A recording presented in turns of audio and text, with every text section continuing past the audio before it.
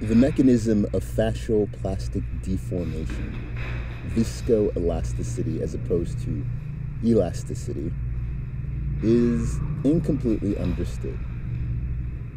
But once it's truly deformed, fascia does not snap back. Over time, and given the opportunity, such as bringing the two fascial surfaces into opposition again and keeping them there, as in going back into the slump, it will, however, lay down new fibers that will rebind the area. But this is not the same as elastic recoil in the tissue itself.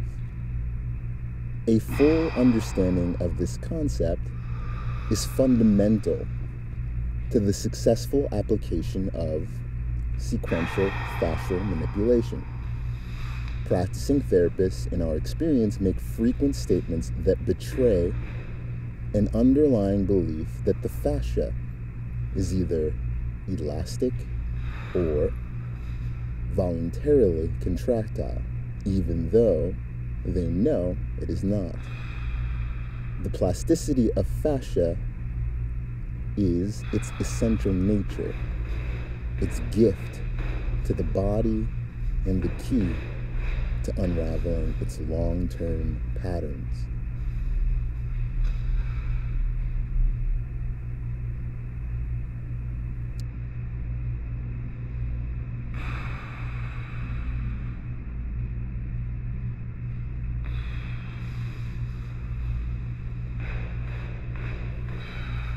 eventually fibroblast in the area and additional mesenchymal stem cells or fibroblasts that may migrate there secrete more collagen in and around the muscle to create a better strap.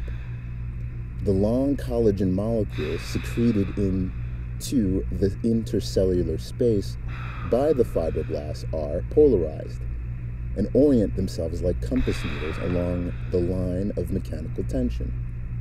They bind to each other with numerous hydrogen bonds via the interfibrillar glue.